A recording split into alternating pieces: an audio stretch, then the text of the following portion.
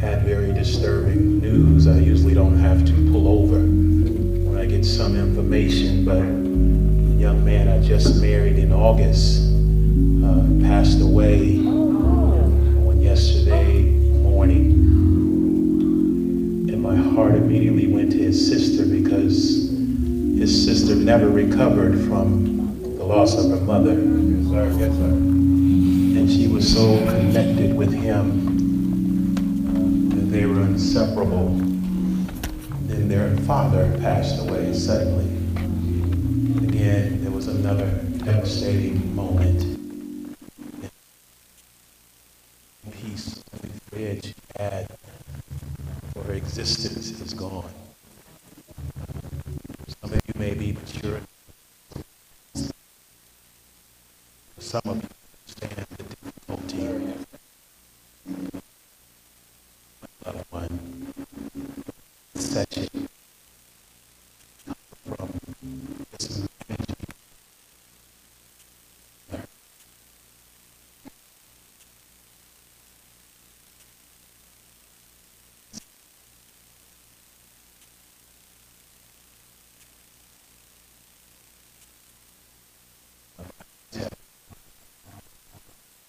reminds me one more time of the urgency of excellence for the kingdom.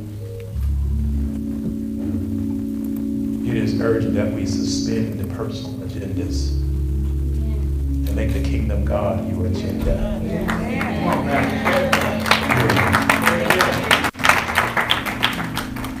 Listen, you gotta be right. You got to be born God didn't ask you to be perfect. He just asked you to surrender. And when you surrender, you say, Lord, come in and change and rearrange some things in my life. And I thank God that I got it at a young age. So I've had time to work on it. And I've come to realize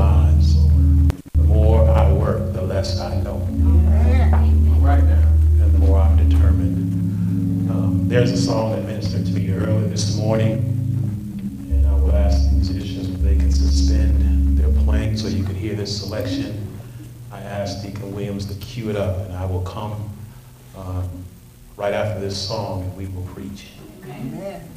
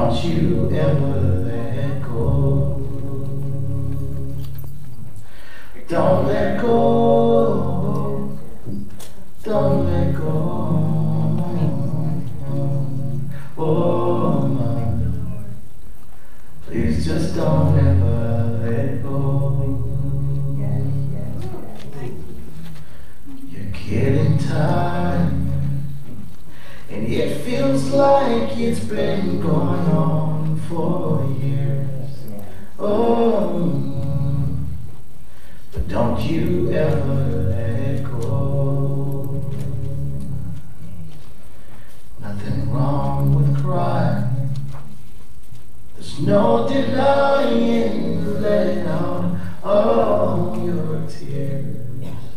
Mm. But please just don't ever let go. Don't let go.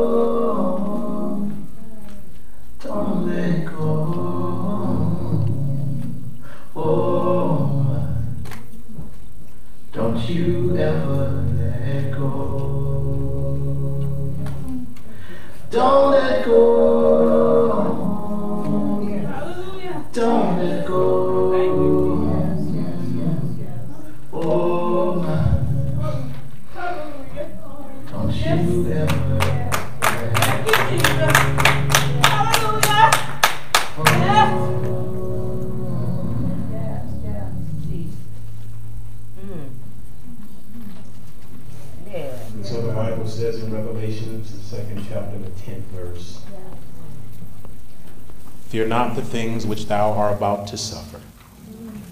Behold, the devil is about to cast some of you into a prison, that you may be tried, and ye shall have tribulations ten days. But be thou faithful unto death, and I will give thee a crown of life. A simple subject, don't let go. My brothers and sisters in Jesus Christ, what a powerful and prolific song of praise rendered by P.J. Morton. It meets us from every genre and period in history. You cannot have escaped this song of devotion if you've lived any span of time. But there is a resounding message that he submits to us don't let go. Revelations is a book of the unveiling of God's final distribution upon this humanity, how he will bring everything together and finish what he has started. It is a book not to be revered and be scared of. It is a book that will allow you to further celebrate because you have the guarantee that God is going to see you through. There are three points that are resonating in this bad voice here, in this song, in that message, and it is there is a call, there is a purpose, and there is a crown. All you have to understand is these words as he has shared them with us. I know it's been so hard and you don't know what it all means, but don't you ever let go. See, there's a reason you're still standing after all that you've seen, so don't let go.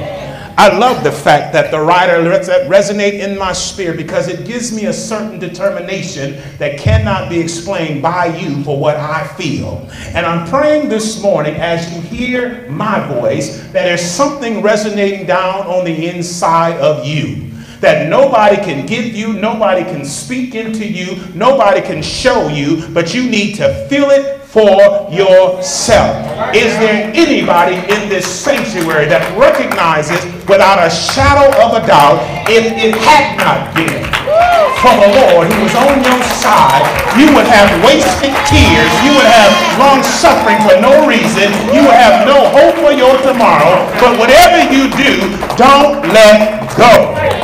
We have lived in a time where there are those who would suggest that we want to get back to a place when America was great. And the writer here, a young lady who's so poetic, gave us these reminders. He says, You said that America was at its greatest in the 50s when it couldn't drink, when we couldn't drink out of your fountains, sit at your counter, or vote in your elections. America is great for who? Was America great for Emmett Till, for Terence Crutcher? How about the four little girls? The Central Park Five or the Emanuel Nine? Was America great for Rodney King or Philando Castile, for Sandra Bland or, Palm, or Pamela Turner? It don't even have breath to say America is great, Eric Garner. Make America great again? Again for what? Fear not for the things which you are about to suffer. Behold, the devil is about, about to cast some of you in prison. See, that is your purpose. God has called you because he knows what he's about to take you through. He doesn't allow the devil to surprise you, but he sets you up and puts you in position because that's what he's called you to do. He called you to go through some trials and some difficulties so that you can show the devil that he is alive, that he does not have the final say so in your life. That's why you can't let go. I wish you look at your neighbor with an undefined, unmoved motion in your spirit and say, don't let go. I'm sick and tired of folk telling me how I ought to feel when I feel it, but despite whatever I'm going through, I will not let go. I don't care about a Jim Crow. I don't care about those they're better than me. I don't care where you've been or where you're going in your life. I better hope you get in your spirit. Don't let go. Friends may walk out on you, talk about you, call you everything but a child of God. Late in the midnight hour when you can't see your way, whatever you do, don't let go. I'm so sick and tired of churchy folks that have no spirit walking up in the God's house acting like false pretenders, but that's all right. I'm going to let God separate the wheat from the tare. I won't let go. Is there anybody in this sanctuary that got a praise down in your spirit? Then you ought to stand up with excitement in your heart that God has been so good to you that you said you wasn't going to tell nobody, but you found yourself telling everybody that God is able to do anything but fail. The second thing you must understand, you have a purpose. Why? It says, Behold, the devil is about to cast you into prison that you may be tried, and ye shall be tribulation for 10 days. Come on, let the devil take me where he got to take me. I won't let go. Come on, if God's telling me where he's taking me, then God is not sending me by myself.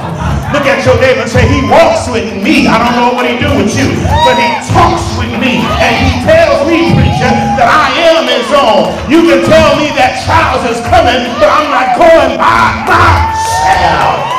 And if God be for you, I wish somebody would hear me. He's more than the world against you. You might not have no money in your pocket. You might not have a fancy car or jewelry on your hand. But God tells us, don't let go. You got to remain faithful in this thing. You got to be faithful when it don't look right. You got to be faithful when it don't feel right. You got to be faithful when you feel all alone. Don't let go. Don't give up what God has done. He did not bring you this far to leave you. Oh, I wish I had some folks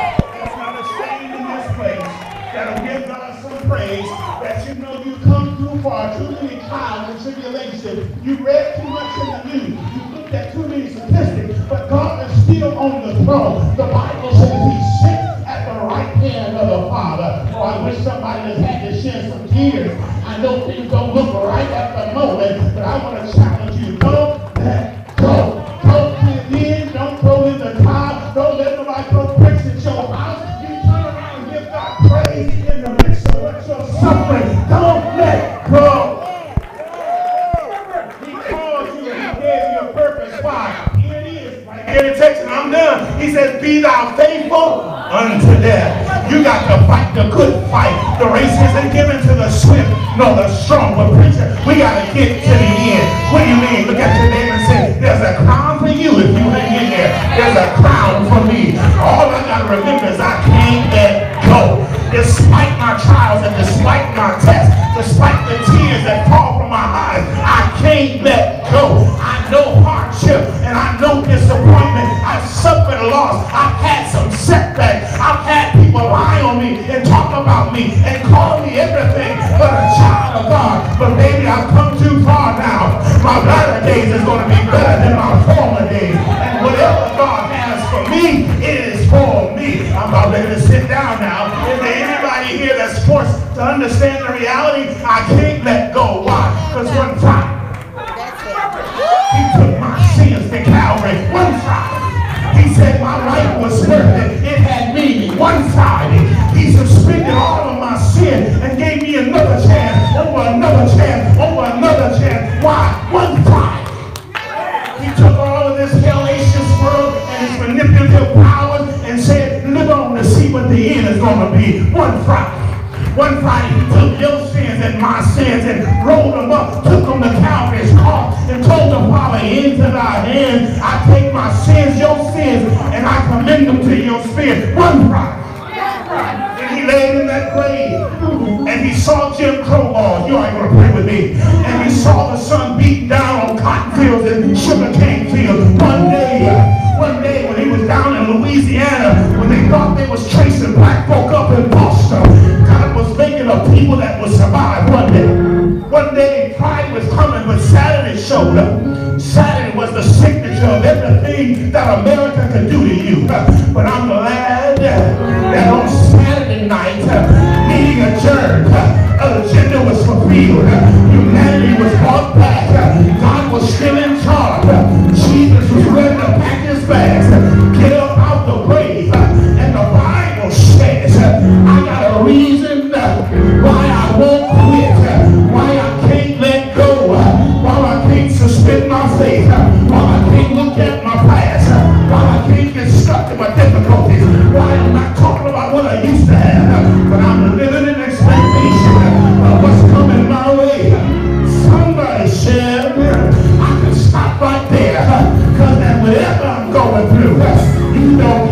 new way. The time is over.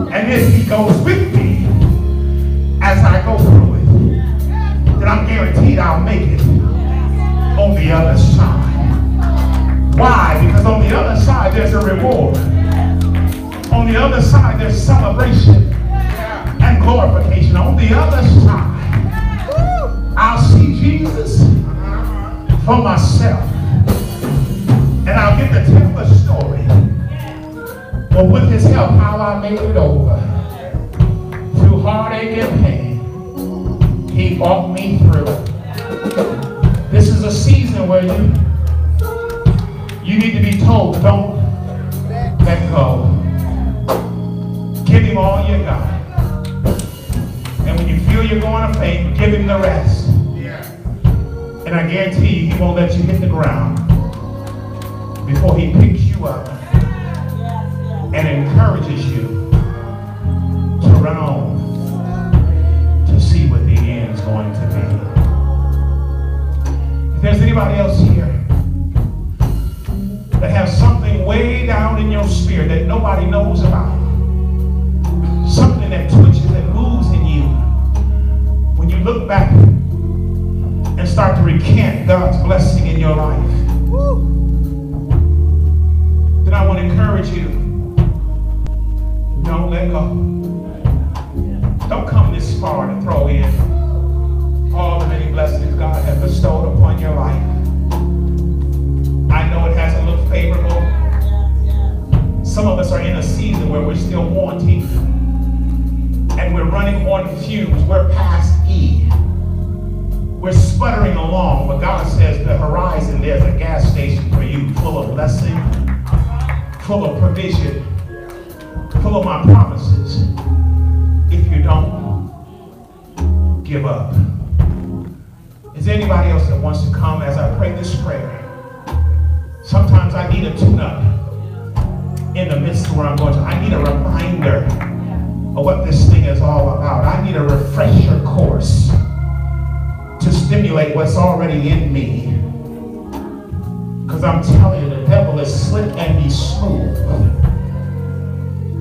He thought you would have quit a long time when the shadow fell on your life like a blanket and it tried to smother you. But God made a way. You're still here. If he carries you through trials and tests, and he's telling you that he'll take you through some more, I don't know who else you would want to pray to. Don't pray to idols that can't see where you're at or where you're going.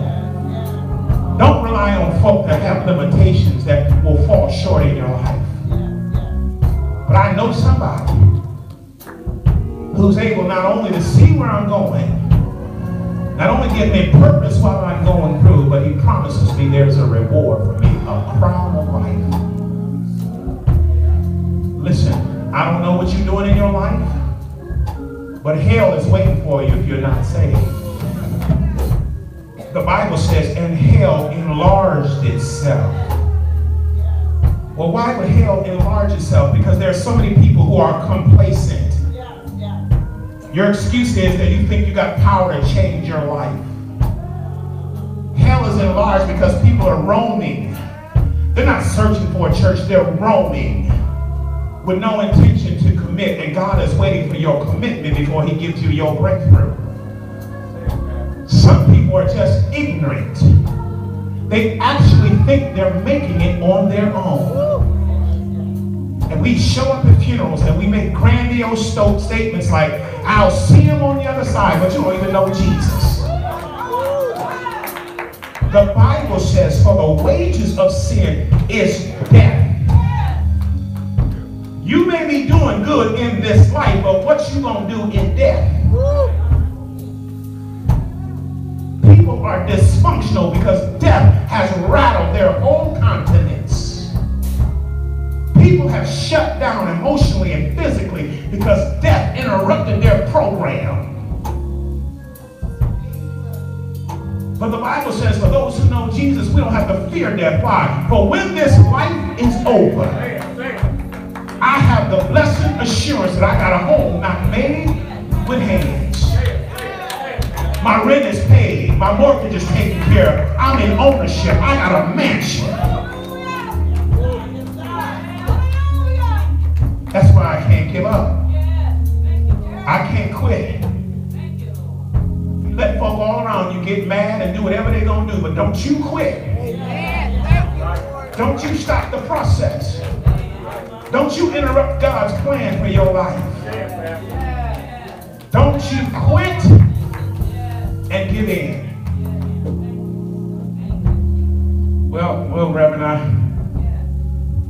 I know, but I, I done did some things. Well, guess what? I bet you can't go back and undo them. So you need a new start. And God says, I'll take your sins and throw them as far away as from the east is from the west. And remember them no more. But I need you to get it out of your mind. And I can come in and bring my spiritual eraser and tell you to start over and give you a fresh start, a new outlook, a new perspective. Surround yourself with some people struggling like you that identify with your program. Your answer is not in a bottle, it's not in chronic, it's not in hanging out with folk that drink or find yourself in a club. You're going to wind up like the prodigal son, but you're going to get caught in that ugly, distant, damn ugly place. The prodigal son said, Why am I living with the swine? Come on, Reverend. My daddy got a mansion for me. He's a king. And I chose to live in filth. Let me get myself up. If I go back to my daddy and just tell him I'm sorry for wasting what was mine, I'm sorry for being disrespectful and disobedient, I'm sorry for trying to make it my own way. Daddy, I'm sorry. Somebody needs to say that to daddy. You've been rebellious. Been doing it your way. You won't listen to nobody. You're hard-headed. You ruin stuff for yourself and you make people miserable all around you. But you can say, Daddy, I'm sorry.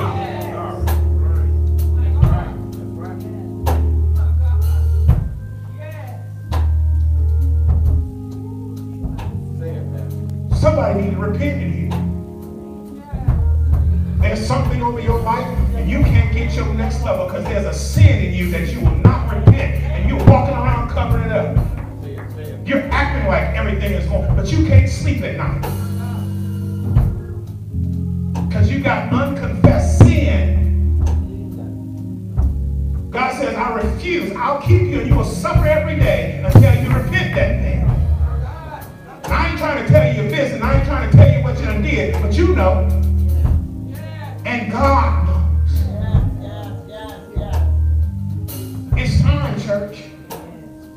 35 years and he left here. If you're 58, if you're 39, you should have been shouting out of your skin. Amen.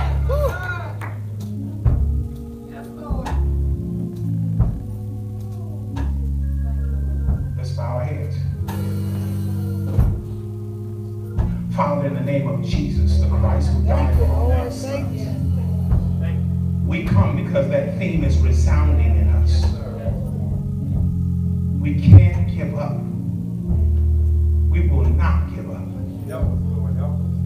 Despite the darkness of the moment, despite I can't even see my way, I don't even know what words to say.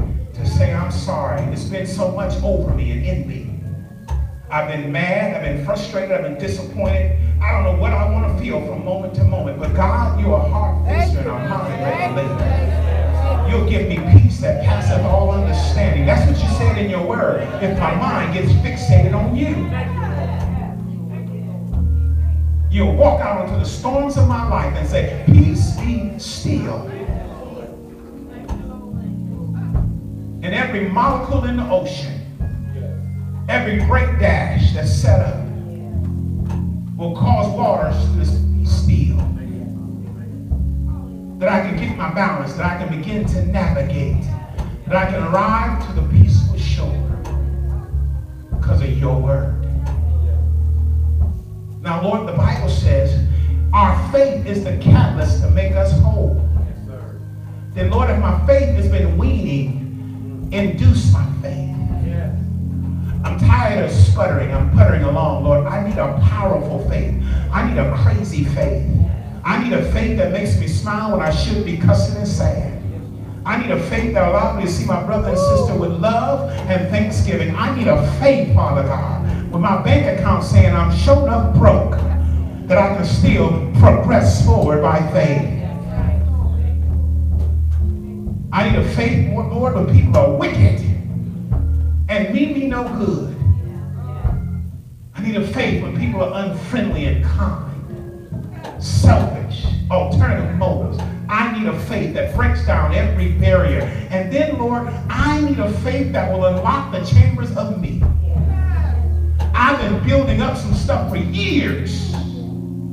So deep on the inside that I forgot was there until the one event happened and it poured out of me. You're a burden bearer, then tear down the walls for oh God. And if it hurts me to my core, Lord, I'm just going to trust you because it needs to be done. It may hurt me, it may cause some isolation and separation, but Lord, build me all over again. This obstruction is hindering and impeding my progress. I need that to be destroyed right now. I want to experience that joy. I don't want to be just for a moment, but I want every day to be my day of thanksgiving. I don't need reasons, Lord. I just want to be. I want to be happy. I want to be secure. I want to be ready whenever you call. I want to just be. I don't want to have to get up to the point or rise to the occasion. I just want to be an open vessel for you. And so, Lord, we bless you with this prayer. We thank you in advance for what you're going to do. My faith walked me to the altar, and your power will take me back home. These things we ask that your son Jesus decreed on our behalf. It's in your son Jesus' name we pray and we thank you. Let us all say amen. Amen.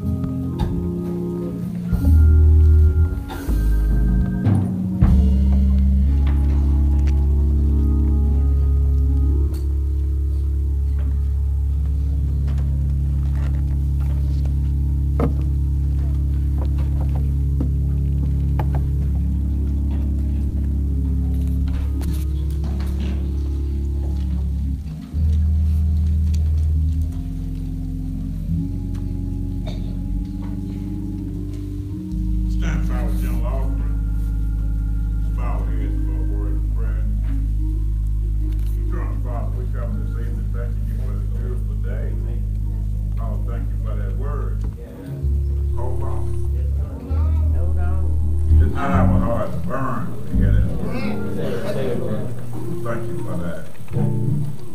Father, we give you the honor, the glory, and the praise today.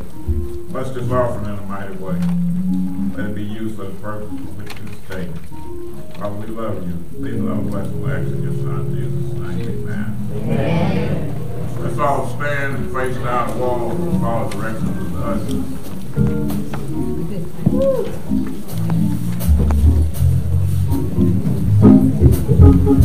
Thank Thank you.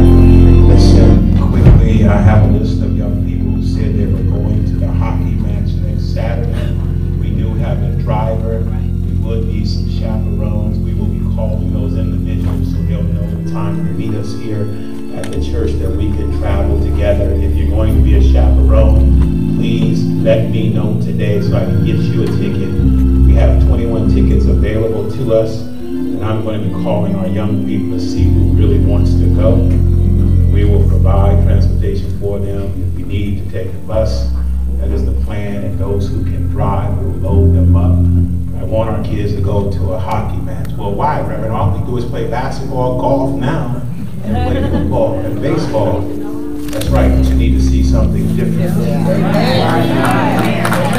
no limit what God can do.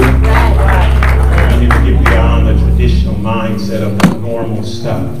Secondly, I'll be getting information. We want to support some kids with two things. EPAW that is going up, I'll be soliciting sponsors for one of our kids from the church to go to EPAW. It is an experience of excellence Leslie Parker Barnes. It's tremendous what they allow the young people to do every year. We're going to sow in them. I'm going to have some information if we can get support, early registration. We're going to do that right away. You see a young person that has caught your eye in this church, you want to be a blessing to them, make yourself known. Amen. Tell them, I don't know your name, but I want to tell you today, I want to sponsor you for EPAW. We want to take these kids to see um, Reynolds, Jonathan McReynolds. Uh, there's going to be a concert for him later on this year. And all of you that want to go to that, we plan on buying a table or buying a series of tickets that all the young people want to go to see Jonathan McReynolds. Right. He is an excellent contemporary gospel singer. He has won stellar awards and everything as a young man.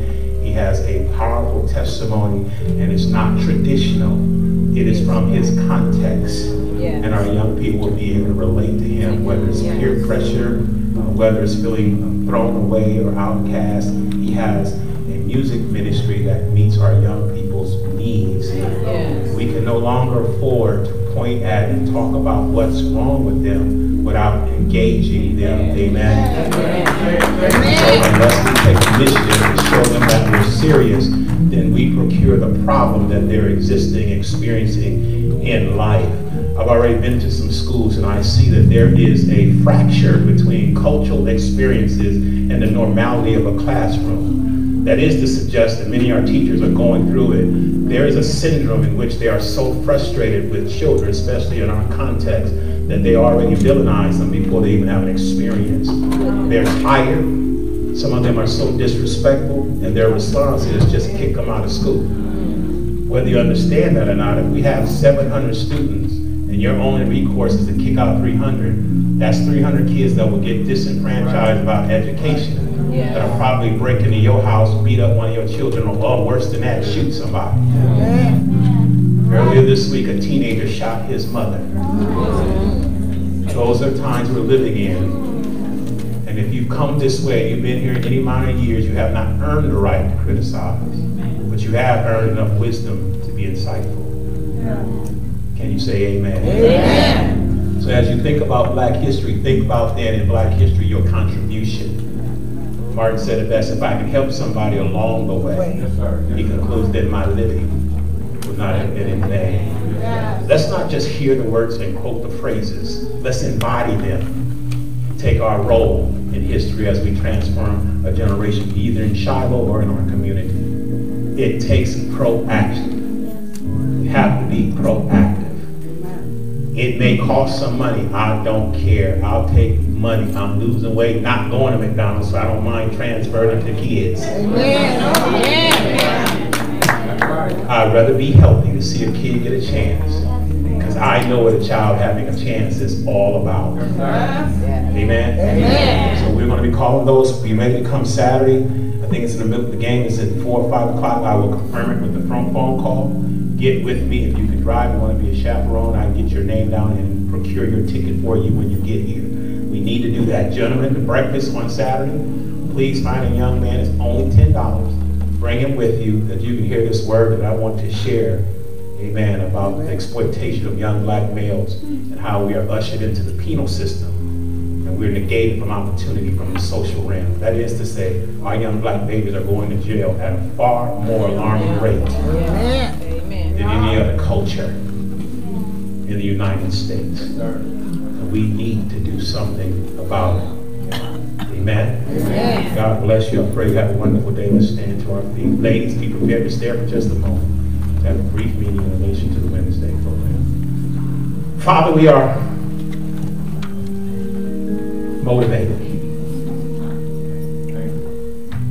If we sit long enough, and we look at some experiences, our hearts are not only twisted, but they're wrenched. What little blood in there seems to be eking away. But we won't give up. Don't quit. Don't stop trusting. Jude said, Not unto him who is able to keep us from falling. Then he will present us faultless before thy presence with exceedingly glad joy. It's there where I receive my crown of life. To the all wise and powerful God that we serve be glory, dominion, and majesty, henceforth and forevermore. Let us all say amen. Amen. Amen. Amen. God bless you all. Have a wonderful